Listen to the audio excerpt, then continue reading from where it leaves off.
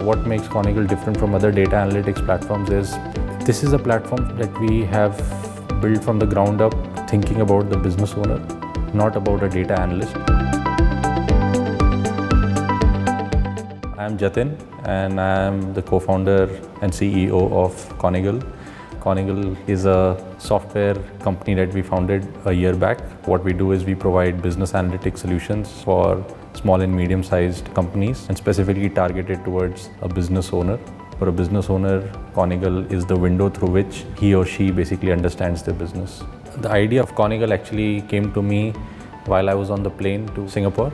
There I met so the person sitting next to me. So this individual was a small, medium-sized business owner. He basically sold handbags over multiple online and offline channels. He told me how difficult for him it was to understand his business and to make data-driven decision makings. I thought that this was like a solved problem. I never thought in today's world people were still running, guessing blindly to run their businesses.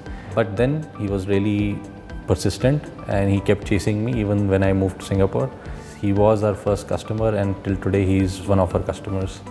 It just came to us, the idea. What we are trying to do is eh, with Konigle, we are building this data analytics solution where you don't have to do anything. You just dump all your data in one place and we can automatically we read your unstructured data. We provide you with an interface where you can ask questions like you would ask any normal human being.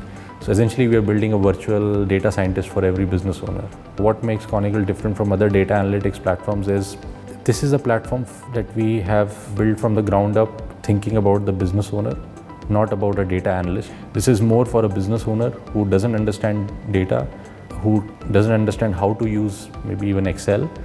It's like it works directly with unstructured data at source and it basically eliminates the need of having a data analyst. My co-founder, Ashish, is originally from India, but he spent like now almost five years in Singapore. He did his PhD from NTU, so he's a computer scientist. One thing about him, he's like a really nice guy. So he's the nice, good cop I'm the bad cop in the company. It's, it's good to have these like different takes on things. It's quite cool working with him. So the best piece of advice that I ever got was actually from my granddad. He said that every time you're taking, making a decision, always try to be in a position of strength. And typically he told me as a insight into life that the best decisions that you would ever take would be when you have nothing to lose.